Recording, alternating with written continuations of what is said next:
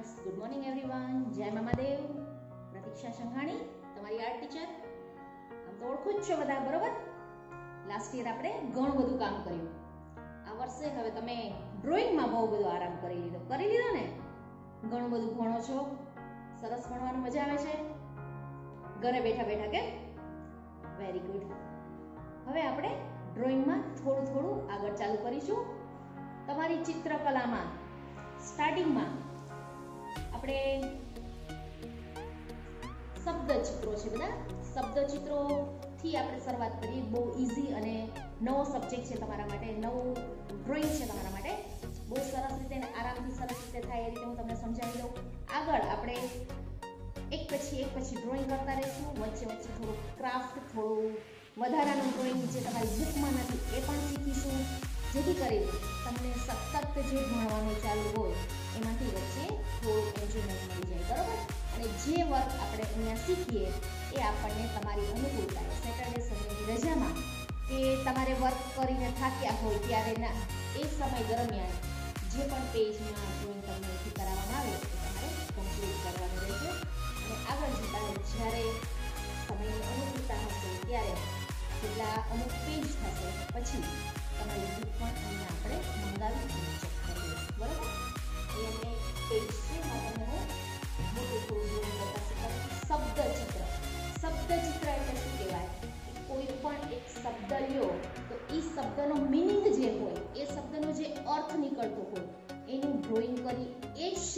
તમે જે લખો એને શબ્દ ચિત્ર કહેવાય. ધારો કે તમારી એને પેલો તમારે એનો શેપ કરી લેવાનો અને પછી એમાં તમારે ગુજરાતી અથવા ઇંગ્લિશ શબ્દને સેટ કરવાના છે. એટલે તમારું એ શબ્દ ચિત્ર તૈયાર થઈ જશે. બરોબર?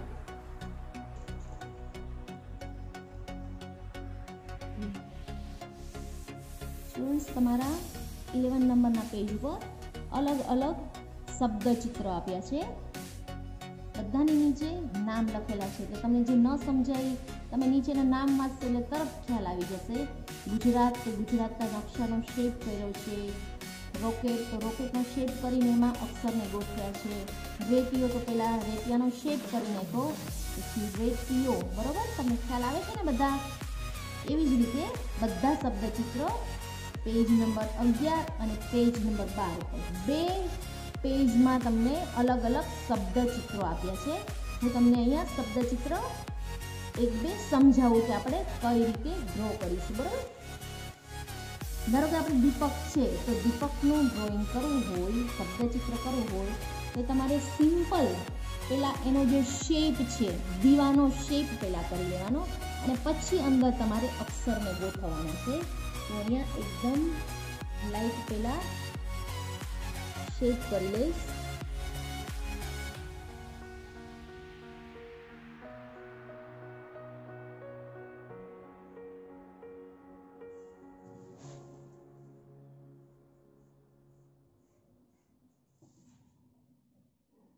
તમે જે દોરો, એ થોડું લાઇટ દોરવાનું છે. એટલા માટે કે તમારે શબ્દ ગોઠવી અને આ જે મેઇન શેપ છે, એને ઇરેઝ કરી નાખવાનો છે. અમે એક સિમ્પલ દીવો દોરી નાખ્યો એની જ્યોત સાથેનો, બરાબર? હવે એક બીજું એની બાજુમાં મોરનું ચિત્ર છે, તો આપણે મોરનો સિમ્પલ શેપ પહેલા કરી લઈએ.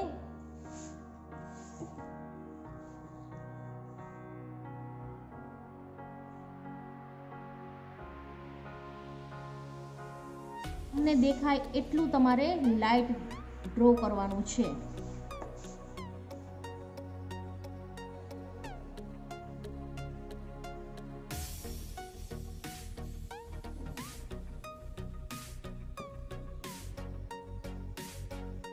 કેલિગ્રાફીની પ્રેક્ટિસ કરો છો? ના કરતા હોય તો જ્યારે પણ તમને વાંચવામાં, ભણવામાં કંટાળો આવે, એટલે આપણે દસ મિનિટ તો દસ મિનિટ ખાલી કેલિગ્રાફીની પ્રેક્ટિસ કરવાની, જેથી કરીને તમારો હાથ પાછો એકદમ મસ્તીનો ફ્રી થઈ જાય. ઘણા ટાઈમથી ડ્રોઈંગ નથી કર્યું ને કાંઈ? જેને શોખ હશે એ તો વેકેશનમાં બી કર્યું હશે લોકડાઉનમાં કર્યું હશે અને અત્યારે સ્કૂલનું તમારા લેક્ચરને બધું ચાલુ થયા, પછી પણ કર્યું હશે. જે લોકોને પ્રેક્ટિસ નથી, એ લોકોએ ખાસ પ્રેક્ટિસ કરવાની જરૂર છે. એક સિમ્પલ શેપ દોરી નાખ્યો આપણે, મોરનો, પછી હવે એમાં આપણે અક્ષરને ગોઠવશું, બરાબર? આ એની ડોક અને જે ગરદનનો ભાગ ને આગળનો ધડનો ભાગ છે, એમાં મ ગોઠવવાનો છે.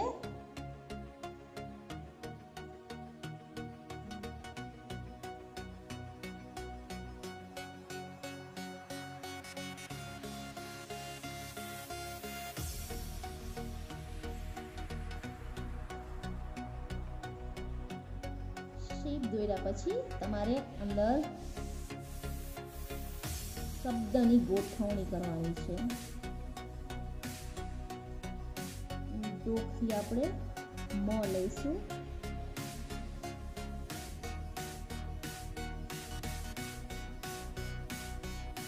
ગરદનના ભાગથી નીચે ઉતરતા થોડોક પાર્ટ બહાર કાઢી અને એમાં જોતા જશો એટલે તમને જેટલી ખ્યાલ આવશે કે તમારે કઈ રીતે શેપ લેવો.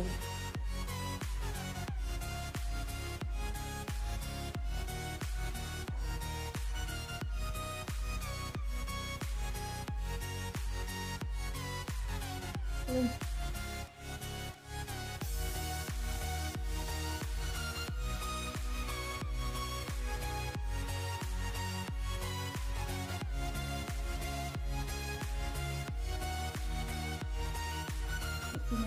પેટના યની સેટ કરવાનો છે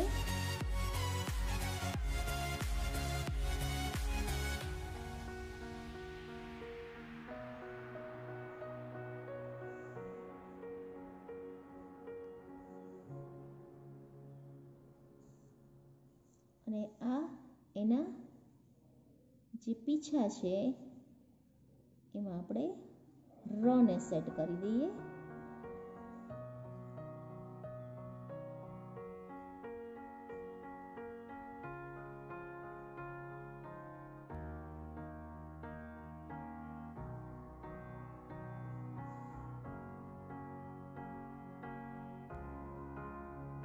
મોરને આપણે શું કહીએ? મયુર કહીએ ને? તો આપણું મયુરનું શબ્દ ચિત્ર તૈયાર થઈ ગયું.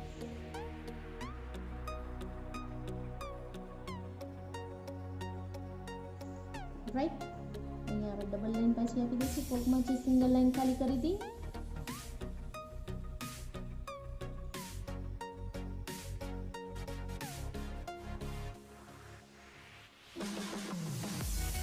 વધારાની લાઈન હોય તો ઇરેઝ કરી નાખવાની એના પછી આપણે એને બ્લેક આઉટલાઈન આપશું સ્કેચ પેનથી અથવા માર્કર પેન જે તમારી પાસે હોય. બ્લેક પેનનો યુઝ નથી કરવાનો સ્કેચ પેનનો યુઝ કરવાનો છે. અને અંદર તમારે સ્કેચ પેનથી કલર નથી ફિલઅપ કરવાના વોટર કલર ફિલઅપ કરવાના છે. જેથી કરીને એક સરખો કલર પૂરાય. અને સ્કેચ પેનથી થોડા કરીને કલર જે ફિલઅપ કરે એવું કરવાનું નથી. બરાબર? આ જ રીતે આપણે જે દીવો ડ્રો કર્યો, એમાં જે ઉપરનો જે જ્યોત છે, એમાં દી છે અને કોડિયામાં પ અને ક, બરાબર? એ રીતે આપણે શબ્દને ગોઠવી દઈએ.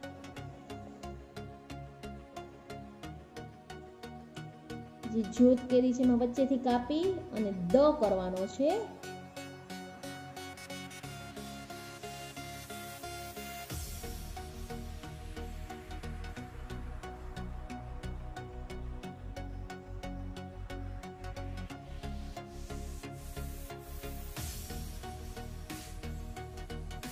જ્યાંથી આપણે કાપ્યું ત્યાંથી કટ કર્યું.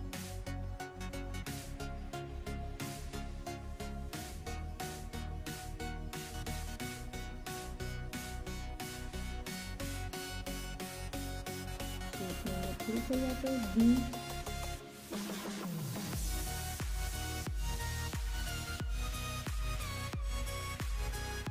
બરોબર જે કોળિયું છે, એમાં ઉપરના પાર્ટથી વચ્ચેથી પાર્ટ કાઢી અને પને સેટ કરવાનો છે.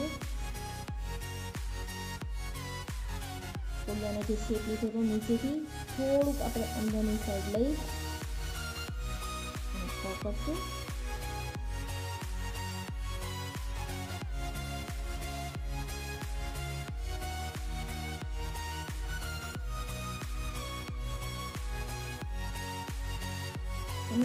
આપવામાં આવ્યું છે શબ્દચિત્રને તમારે પહેલાં સરસ રીતે જોઈ લેવાનું છે કે ક્યાંથી કેવી રીતે અક્ષર બનાવ્યો છે અંદર. એ જ રીતે આપણે અક્ષરને સરસ મજાનો સેટ કરી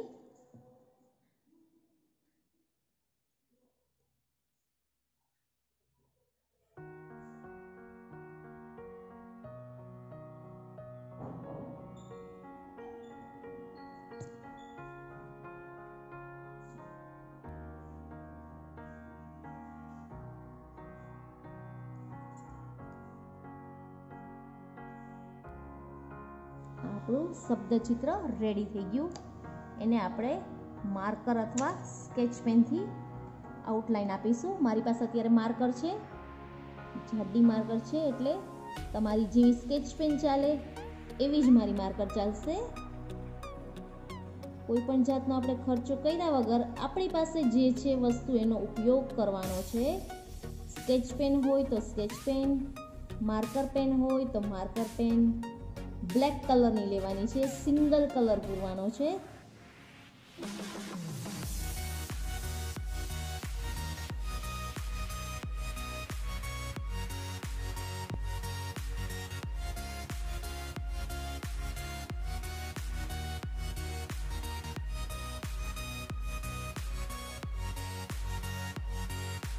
આપણું આઉટલાઈન આપેલું શબ્દચિત્ર કમ્પ્લીટ હવે એને આપણે અંદર વોટર કલર ફિલઅપ કરવાનો છે.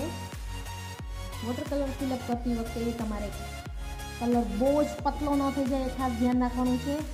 અને તમે જે સ્કેચ પેનની આઉટલાઈન આપી, એને તમારે બહુ બધું તમારું બ્રશ ટચ ન થાય એનું ધ્યાન રાખવાનું છે. એટલા માટે કે સ્પ્રેડ ન થાય. અને આઉટલાઇન એટલા માટે મેં પહેલાં અપાવડાવી કે તમારે બ્લેક એ બ્લેક જ કલર કરવાનો છે. અને હંમેશા જ્યારે આપણે કામ કરીએ ત્યારે બ્લેક સ્કેચ પેન તો પછી જ યુઝ કરીએ છીએ ને? પણ આપણે આ બ્લેક ને બ્લેક કલર જ જ્યારે યુઝ કરવાનો છે અને શબ્દ ચિત્ર છે એટલે તમારી ક્યાંય મિસ્ટેક ના થાય, ઝીણા ઝીણા અક્ષર હોય, ક્યાંય વણાંક ઝીણો હોય, તો એ તમે પહેલાં સ્કેચ પેનથી કરી લીધો હોય, તો તમને પરફેક્ટલી ખબર પડે કે તમારે ક્યાં કલર ફિલઅપ કરવાનો છે એટલા માટે. બાકી ઓલવેઝ તમારે જ્યાં સ્કેચ પેનની આઉટલાઈન આપવાની હોય, તો એ કલર ફિલઅપ થઈ ગયા પછી અને કલર સુકાઈ ગયા પછી જ આપણે આઉટલાઈન આપીએ.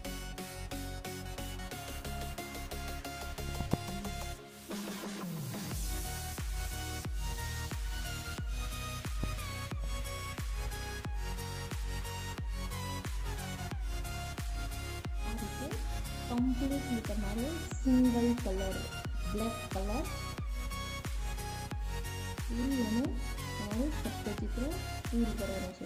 સ્કેચ પેનથી આવી રીતે તમે લીટા કરી અને એની અંદર કલર સિલેક્ટ કરવાનો નથી.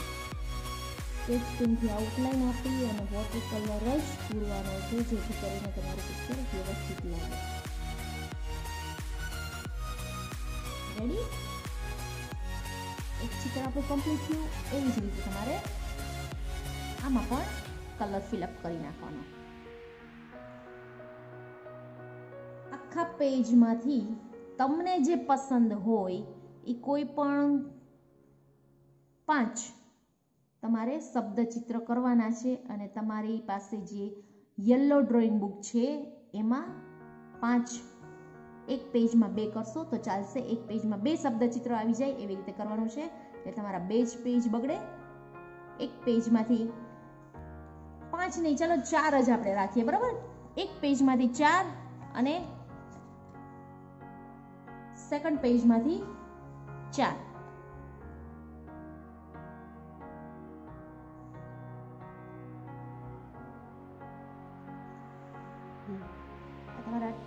ટોટલી બાર નંબરના, અગિયાર નંબરના પેજ ઉપર જેટલા શબ્દચિત્રો છે, એમાંથી તમને જે પસંદ હોય એ તમારે એક પેજમાં ચાર એક જ પેજમાં તમે આમ ચાર ભાગ પાડી નાખશો, તો પણ ચાલશે. અને એક પેજમાં આગળ બે અને પાછળ બે એમ કરશો, તો પણ ચાલશે. બને ત્યાં સુધી એક પેજમાં આમ ચાર ભાગ કરી અને એમ જ કરજો. એટલે તમારે પાછળ કદાચ ડાર્ક કલર થયો ઉઠી ગયું હોય, તો વાંધો ન આવે. યલો ડ્રોઈંગ બુકના પેજમાં, એક પેજમાં ચાર ભાગ કરી અને તમને મનપસંદ હોય, એવા ચાર કોઈ પણ શબ્દ ચિત્ર ડ્રો કરી કલર ફિલઅપ કરી કમ્પ્લીટ કરવાના છે. અને એ જે તમારું યલો ડ્રોઈંગ બુકનું પેજ છે, એ તમારે કાઢી અને અહીંયા પિનઅપ કરી નાખવાનું છે. સ્ટેપલર મારીને કમ્પ્લીટ રાખજો કે જેથી કરીને જ્યારે તમારી બુક હું ચેક કરવા મંગાવું, ત્યારે આની સાથે જ રહે તમારી યલો ડ્રોઈંગ બુક અને આ ડ્રોઈંગ બુક બંને તમારે બે સાથે ના મોકલવી પડે એટલા માટે. Ready thank you